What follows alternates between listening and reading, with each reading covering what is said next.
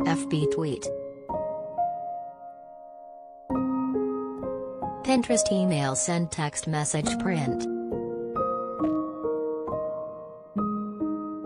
Mariah Carey is celebrating blessings times 2 this Mother's Day. Honoring all the mommies out there with a new celebratory Instagram post, the pop star shared a slideshow of sweet photos of her 11-year-old twins, son Moroccan and daughter Monroe, on Sunday.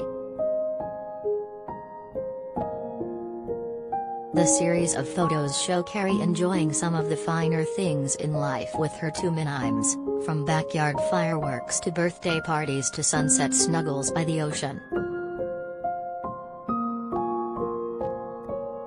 Carey, who shares Moroccan and Monroe with ex-husband Nick Cannon, also shared a photo of herself smiling wide with a beautiful bouquet of pink roses.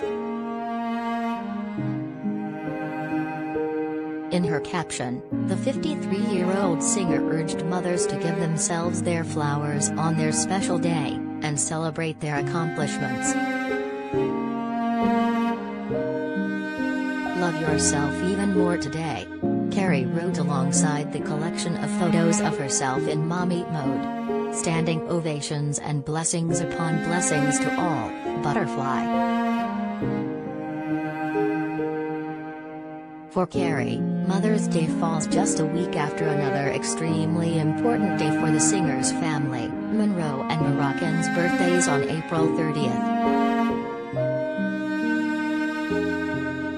Last week, Carey celebrated her twins' 11th year, sharing photos of the adorable duo and calling them the two greatest blessings of my life on Instagram. Roc and Roe, always be my babies, Deem Kids. The singer captioned the birthday post. I love you forever. Mommy, heart.